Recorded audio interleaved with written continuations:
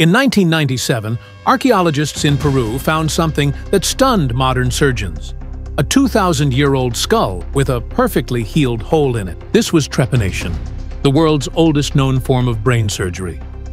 It dates back to the Paracas culture, around 400 BCE, long before anesthesia or modern medicine existed. Surgeons used sharp obsidian knives to cut or scrape holes into the skull, to treat head injuries, seizures, or what they believed were evil spirits. When scientists at the University of Miami studied over 800 ancient Peruvian skulls, they were shocked. More than 70% of patients survived these operations. Their bone tissue showed clear signs of healing, proof that ancient doctors weren't just experimenting, they were saving lives.